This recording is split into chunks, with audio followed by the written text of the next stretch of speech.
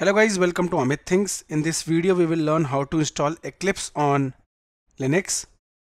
Let's start. At first go to the web browser. I am using Firefox, you can use any browser. Here and type Eclipse. Press enter. On pressing enter the official website is visible. Click on it eclipse.org. Here it is. Now on reaching uh, the official website, here in the download button is visible on the right. Click on it. On clicking the Eclipse version is visible. Here it is. So Eclipse comes pre-installed with Java so we don't need to install it separately. Click on download. This will download the file for Linux in the following format tar.gz that is compressed file. Click download now the download will start. Here it is. It started. It's only 99 MB let's wait. Completed. 99 MB right click and uh, click show in folder. Now you can see the compressed file is visible. I'll right click and extract.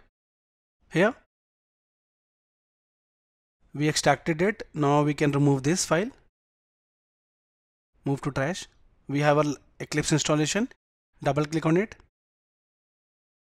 Open it. Eclipse installer is visible. This is what we wanted. Double click. And herein you can see the Eclipse the Eclipse installer is visible. Now right click and click open in terminal. Herein type dot slash eclipse hyphen inst for installation. Press enter.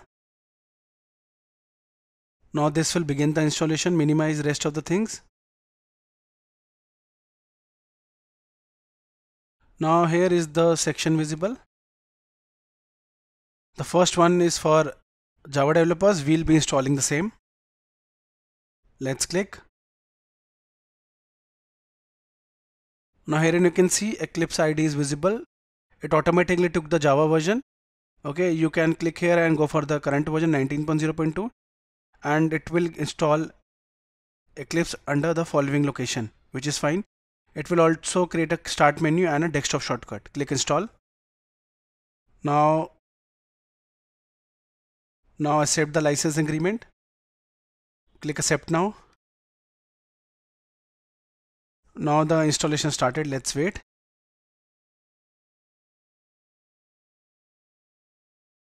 Guys, you can see we successfully installed Eclipse. Click launch to open it.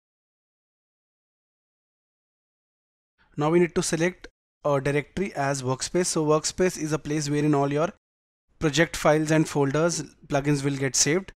So you can change the location from here, but I'll keep the same and set this as the default so that you don't need to set the workspace again and again for newer projects click launch So guys in this video we saw how we can easily download and install Eclipse